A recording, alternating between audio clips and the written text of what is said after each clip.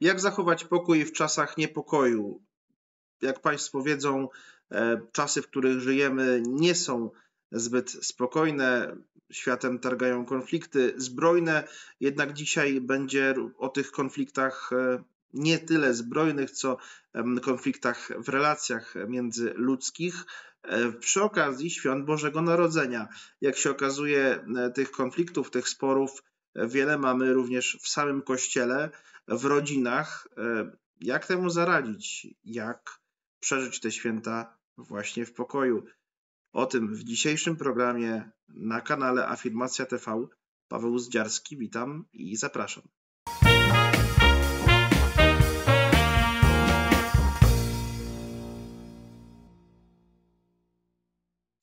Naszym dzisiejszym gościem jest ksiądz Daniel Wachowiak, proboszcz parafii brata Alberta, świętego brata Alberta w Koziegłowach pod Poznaniem. Niech będzie pochwalony Jezus Chrystus.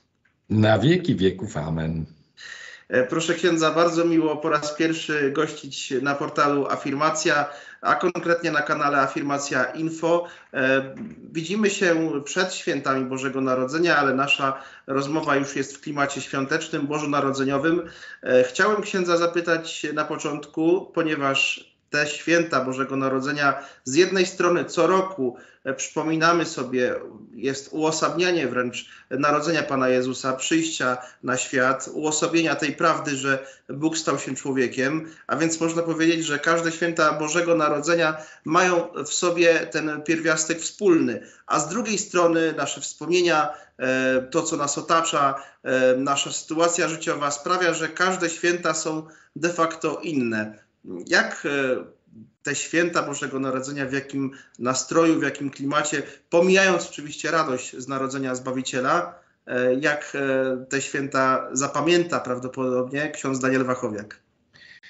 No jeszcze rok temu, dwa lata, trzy, cztery i chyba pięć lat temu byłem w Puszczy Noteckiej, natomiast teraz Jestem w aglomeracji poznańskiej, czyli powrót do Poznania i okolic po tych kilku latach w Puszczy Noteckiej, dlatego te święta będą nieco inne. Natomiast jeśli tak patrzę bardziej globalnie, myśląc o Kościele, no to jeden z też z komentujących kilka dni temu zauważył, że chcielibyśmy myśleć o przyjściu Pana Jezusa, chcielibyśmy znowu oddawać cześć Panu Bogu, który stał się człowiekiem, a my niestety w Kościele otrzymaliśmy taką deklarację od stolicy apostolskiej, przez którą musimy rozmawiać o tematach trudnych. Więc ja jestem ciekaw, czy przy rozmowach katolików między sobą te tematy, na przykład przy stole wigilijnym, były poruszane, bo sądzę, że dla wierzących ludzi to jest wielkie poruszenie i polski kościół też pod tym względem się zmienia. Kiedyś mówiono tylko o tym, jaki jest mój proboszcz, ewentualnie wikary, a teraz coraz bardziej polski katolicyzm przejmuje się tym, o czym mówi rzeczywiście sama góra, czyli hierarchia. Na szczęście ta zmiana nastąpiła, bo ja już się bałem parę lat temu, że główną osią rozmów między katolikami będzie to, że na przykład proboszcz był w biurze uśmiechnięty, albo był blady, albo nie miał humoru. Na szczęście nastąpiła zmiana. Ta zmiana nastąpiła i to chyba jest bardzo wymowne, że y, to zainteresowanie Kościołem, zainteresowanie sprawami Kościoła, ale nie tylko takimi instytuc instytucjonalnymi, nie tylko takimi zewnętrznymi, ale przede wszystkim duchowością, y, przede wszystkim y, prawdą objawioną, którą Kościół głosi niezmiennie od 2000 lat ponad. To zainteresowanie wzrasta wśród świeckich. Nie wiem, czy ksiądz zgodzi się z tą tezą.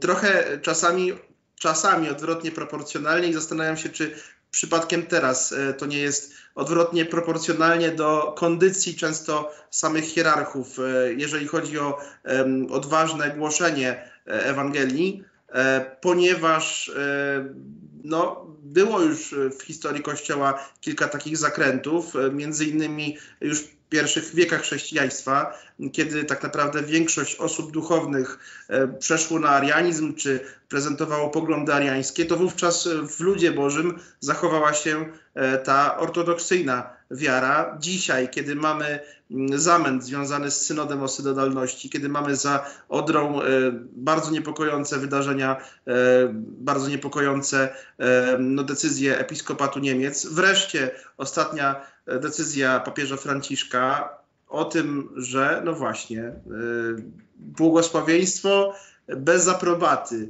dla par homoseksualnych może być możliwe. Czy to jest w ogóle, czy to jest w ogóle możliwe, proszę księdza? Jak ksiądz to rozumie? Jak e, pobłogosławić i jednocześnie no, zwracając uwagę, że nie wyrażamy aprobaty dla tego związku. To albo jedno, albo drugie. No tu kilka wątków pan redaktor poruszył. Jeden z nich jest taki, że rzeczywiście wielu świeckich ma odwagę o tym mówić i gratuluję. My w ogóle w Kościele musimy się spierać, żeby odkrywać prawdę. I obawiam się niestety, że rację mają ci, którzy twierdzą, że ta dyskusja i spór na porządnym poziomie jest przyduszona ze względu na to, i teraz dotykam mojego stanu kapłańskiego, że wielu księży czy nawet biskupów żyje w lęku Niektórzy mówią, no przecież król jest nagi, trzeba to zauważyć, nazwać po imieniu, a jednak wobec biskupa czy wobec szeregowego nawet księdza można wyciągnąć konsekwencje i to prawne, wyciągając jakieś prawo kanoniczne, poszczególny paragraf. A świeccy tej obawy nie mają, może dlatego są bardziej odważni, no bo jednak człowiek, który ma koloratkę, jedząc zupę, ma świadomość, że jeżeli powie o czymś głośno, co nie jest zgodne z linią, już chciałem powiedzieć z linią partyjną, ale linią mainstreamowego kościoła, to jutro już tej zupy może czasem nie jeść. A ja uważam, że tę zupę nadal będzie mógł jeść, bo znajdą się tacy wierni, którzy takiego odważnego księdza będą utrzymywać. Więc jeżeli z takiego założenia wyjdę, że nie będę myślał o tym, żeby się bać o ten swój status materialny, no to trzeba głosić prawdę. Ale jeszcze raz powiem, no rozumiem tych, którzy tej odwagi nie mają. I teraz kolejny wątek jeszcze w Pana pytaniu, Panie redaktorze. Czy można błogosławić? No, błogosławić mogę każdego człowieka indywidualnie. Natomiast każde błogosławieństwo, jak mówi o tym rytuał rzymski, ma prowadzić do życia zgodnego z duchem Ewangelii. Nawet jeżeli ten człowiek odrzuca na dzień dzisiejszy tego, tego ducha Ewangelii. Na przykład takie błogosławieństwo zdarza się w czasie spowiedzi, kiedy nie mogę udzielić rozgrzeszenia, wówczas błogosławię penitenta, Poniekąd też to jest taki znak, że jeżeli ktoś obserwuje spowiedź, to nie może się domyśleć, że tam nie nastąpiło rozgrzeszenie, czyli ja nie zdradzam tajemnicy spowiedzi, ale błogosławię człowieka, żeby żył w duchu Ewangelii. Natomiast kłopot jest taki, że przychodzi do mnie para, która być może żyje w jakimś związku, i ona domaga się ode mnie albo prosi o błogosławieństwo, no to w moim przekonaniu, w moim sumieniu, w moim rozumie, w moim sercu mimo że przeczytałem deklarację wydaną przez Dykasterię Nauki Wiary, podpisaną przez kardynała Fernandeza, a także zaaprobowaną przez papieża Franciszka, to mi się w logice wiary i rozumu nie dodaje nic. To znaczy, nie jestem w stanie w związku z moim, mam nadzieję, ukształtowanym w Duchu Świętym sumieniem pobłogosławić takiej pary, bo to tak jakbym im powiedział, że ich życie jest zgodne z duchem Ewangelii. Nie indywidualnie przyjdźcie do mnie, to was pobłogosławię, nawet jak się ze mną nie zgodzicie, żebyście żyli w duchu Ewangelii. Ale nie mogę dać tego znaku zewnętrznego, żebyście nie pomyśleli, że aprobuję wasz tak zwany związek nieregularny, bo my teraz się koncentrujemy przede wszystkim na parze tej samej płci, ale mowa jest również o na przykład osobach żyjących w powtórnym związku cywilnym małżeńskim. No właśnie, to jest e, tylko jeden aspekt, aspekt, który jednak budzi najwięcej emocji. Chodzi o e, właśnie e, pary jednopłciowe, ale rzeczywiście zaczęło się od tego, że mm, osoby żyjące w powtórnych związkach otrzymały pewną furtkę i jako tę furtkę wiele osób w kościele świeckich, duchownych mm, interpretowało Amoris Leticia przed, przed kilku lat. E, I w związku z tym, e, że ta furtka, e, no właśnie, czy została ona wtedy otwarta, czy księdza zdaniem może w innym miejscu, wydaje się, że to ciągle postępuje. Czy jest możliwość jakiegoś zatamowania tej tendencji? No bo człowiek e, wierzący, zaniepokojony tą sytuacją, może zadać sobie pytanie sobie i też na przykład księdzu. E, przed chwilą e, mieliśmy Adwent, teraz święta Bożego Narodzenia, za chwilę kolenda i być może przy okazji wizyt duszpasterskich też takie rozmowy będą padać. Dokąd zmierza Kościół? Mnie bawią takie wygibasy, akrobatyka, werbalna tych teologów, księży, niektórych biskupów, którzy na przykład dwa lata temu, gdy istniał jeszcze inny dokument Dykasterii Nauki Wiary, mm, mówili nieco inaczej, dzisiaj mówią inaczej i to wszystko im się spina. Jak ja tego słucham, to czasami mam ubaw, śmieję się, ale to jest czasami też śmiech przez łzy, ponieważ obojętnie, no jak będziemy to rozważali, to doskonale wiemy, w jakim duchu to wszystko płynie. I wielu ludzi już mówi tak dosyć ostro, my, my, już nie damy się ściemniać tutaj. No doskonale wiemy, jakie są założenia góry. Mogą nam mówić pięknymi tutaj słowami, nawet wydać kolejny dokument, który będzie zawierał 17 rozdziałów, a i tak nie przekonają nas, że tym kluczem jaki powinien być w naszych oczach, którym powinniśmy interpretować, to jest w zasadzie przyklepanie grzechu.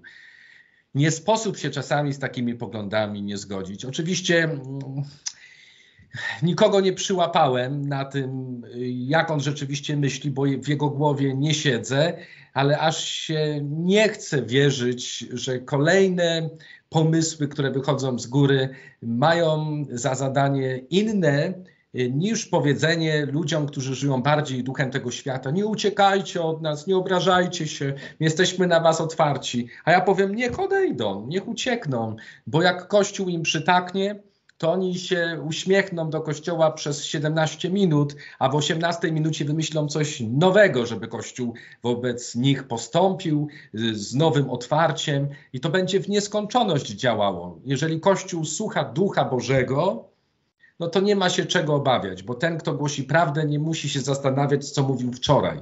A jak Kościół ulega duchowi tego świata, to za chwilę będzie słyszał kolejne żądania, no i wpakuje się w taką pułapkę, w której już nie ma wyjścia. I dlatego uważam, że Pan Bóg nas uratuje, bo hierarchia rzeczywiście jak to teraz powiedzieć, żeby z tego mądrze wybrnąć?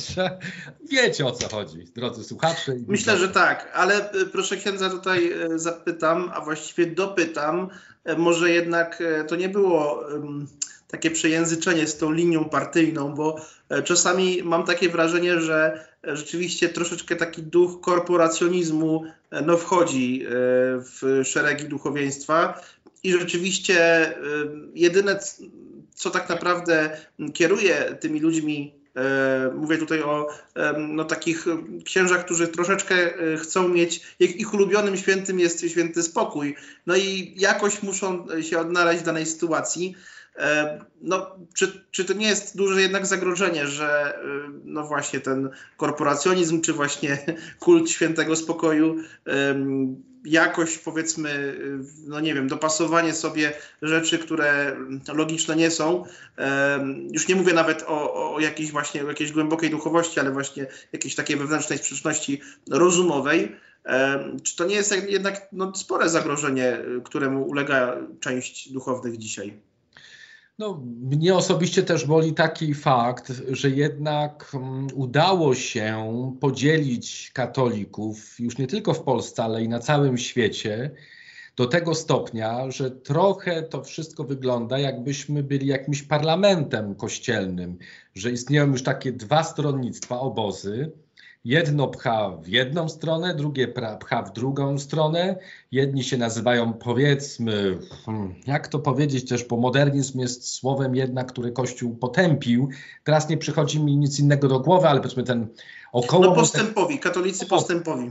Chociaż postępowi to też nie, bo konserwatysta też jest postępowy. Yy, tak, ale powiedzmy, że na użytek no tej... Właśnie, I ta tak. strona, i ta strona konserwatywna. No i, i nie, ma, nie ma porozumienia. Niektórzy się cieszą, klaszczą, że oto idziemy do przodu, że jesteśmy bardziej wyrozumiali. No ale utraciliśmy coś w Kościele. Utraciliśmy mówieniem jednego, jedne, w jednym duchu, No ale rzeczywiście pan redaktor wspomniał, że w czasach panowania arianizmu w kościele było podobnie, nie tylko wtedy, więc wierzę w to głęboko, że Duch Święty nas wyprowadzi. Ja sam nie widzę, jak on ma to zrobić, więc dlatego wierzę tym bardziej w bóstwo Bożego Ducha. On musi sobie poradzić. Help po prostu, Panie Boże, działaj, bo ja nie wiem, jak to zrobić, żeby na nowo był porządek w kościele. No proszę księdza, jednak e, mówi się dużo e, i tutaj przechodząc może e, od strony duchowieństwa ku życiu małżeńskiemu, rodzinnemu, że mimo tego podziału, o którym mówimy, podziału również w samym Kościele wśród katolików, osób wierzących, jednak mówi się o tych świętach Bożego Narodzenia jako świętach jedności, miłości, pokoju, e, o tym jak śpiewał klasyk, że tutaj gasną wszelkie spory i tak dalej. No właśnie, jak e, w takim razie, jak w takim hmm, jak e, w takich okolicznościach, w takiej rzeczywistości tę jedność zachować, bo mm, są różne propozycje, są różne sugestie co do tego, jak spędzać święta. E, jedni mówią, w tym też księża, proszeni o radę, jedni mówią, że dobrze, trzeba rozmawiać nawet na tematy trudne i tak dalej. Inni mówią, że no nie, nie, nie dotykajcie tych tematów.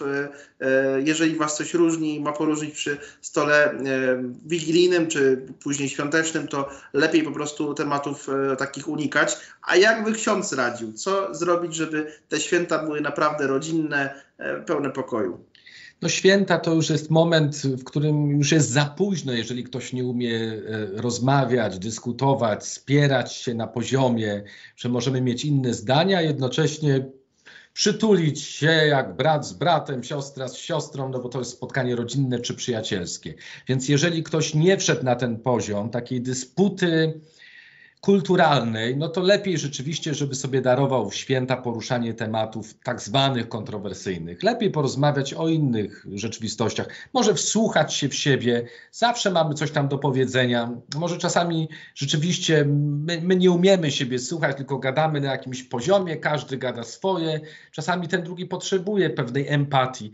Jeżeli nie umiemy się spierać, to ja radziłbym w święta nie poruszać tych tematów. Chyba, że umiemy. Robimy to, nie wiem, grając w szachy, y, nie wiem, popijając nalewkę, którą dziadunio zrobił, jakkolwiek. Jeżeli umiemy, to jak najbardziej, ponieważ język powoduje, że, że człowiek zaczyna być kreatywny, twórczy, gdy nam tego brakuje, no to czasami mamy myśli takie, jakie usłyszymy w telewizji czy na TikToku, a nie o to przecież chodzi. Ale jeżeli nie umiemy, no to lepiej rzeczywiście w sposób łagodny przejść te święta Bożego Narodzenia.